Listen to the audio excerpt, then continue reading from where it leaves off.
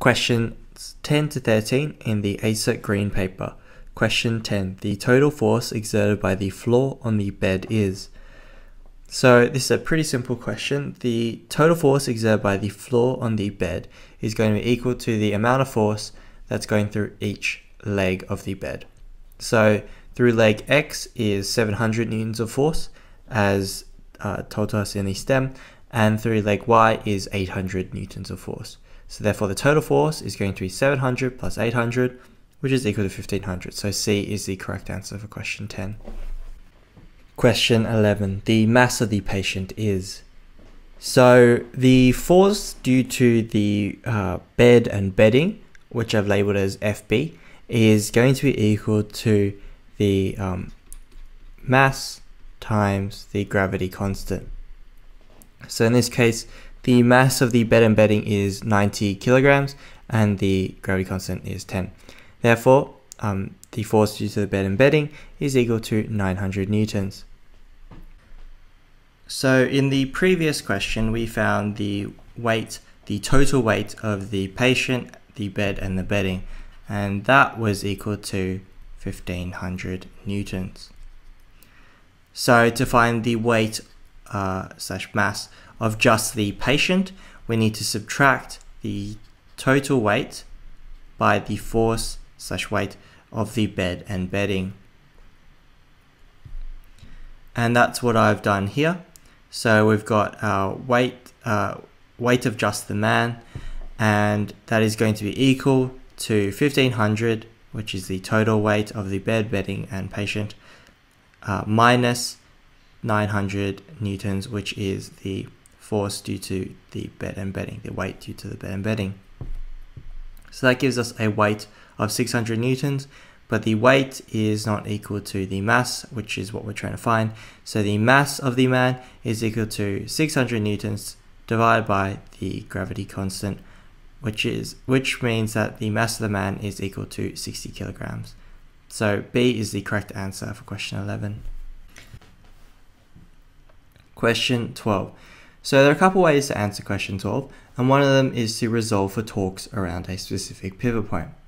So torque is a measure of how much a force causes something to rotate.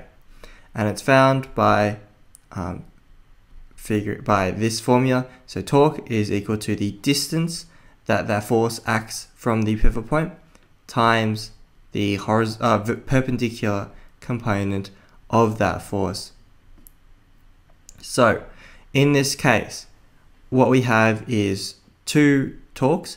We have a um, anti-clockwise, sorry, cl clockwise torque and a anti-clockwise torque. So the force that is acting um, and causing a clockwise torque is this one at uh, the, the leg at point X and the force that is acting in an anti-clockwise uh, way is the weight force of the patient, bed, bedding, etc.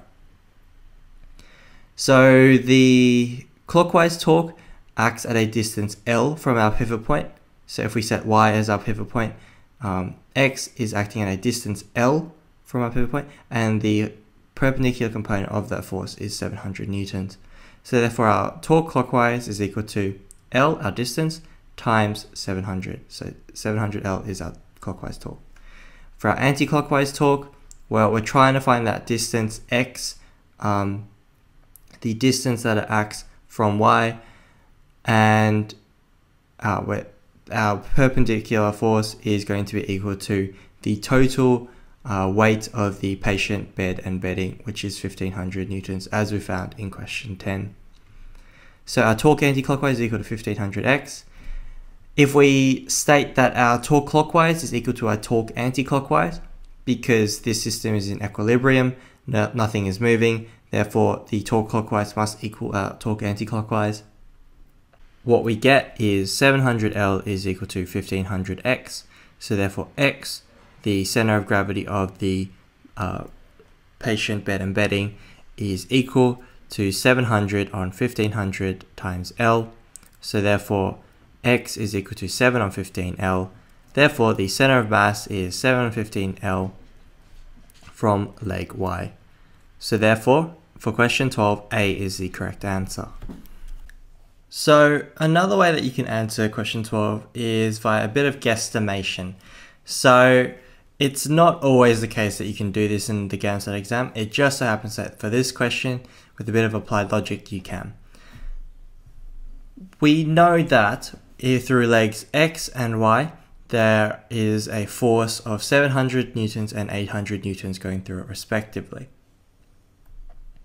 The amount of force going through each leg is going to be proportional to how close the center of mass is to it. So say for example, our man, instead of he was lying down, he was just standing up straight. But he was standing on only side Y. What we'd expect is that the total force, uh, weight force, through leg Y would be way higher than leg X. And hopefully you should just sort of know this instinctively. If you stand on one side of the bed, that side of the bed is going to um, experience a greater weight force. So what we can say therefore is that the center of mass um, is going to be slightly closer towards y than x because the amount of force going through y is a little bit higher than the force going through x. So we'd expect our center of mass to be somewhere around here. now, it just so happens that the answers are sort of different enough that that's sufficient to answer it. So let's skip A and B. Um, let's start with C. So C implies that the center of mass is halfway between each leg. But we know that's not true because if that was true, then X would have the same amount of force going through it as leg Y, and it doesn't. So we can rule out C. D implies that the um, center of mass is extremely close to leg Y, so only one eighth of the whole length of the bed. But we know that's not true because the um, the center of gravity is only sorry the force going through Y is only a little bit bigger than X. It's only 100 newtons out of a total of 1,500 newtons. So Therefore, we can sort of rule out D because it's way too close to Y. B, on the other hand, um, is too far away from Y. So B implies, so 8 on 15, 8 on 15 is a little bit over halfway. Um, so we'd expect, so B is essentially saying that our center of gravity is somewhere around here. But that would imply that the weight, uh, the total force going through x would be greater than the total force going through y. So therefore, that is true. And therefore, for question 12, A is the correct answer. Question 13. Suppose the nurse uses two identical weighing scales instead of one, and that he places the pair of legs at X on scale A, and at the same time the pair of legs at Y on scale B. In this case, the readings on the two scales would be.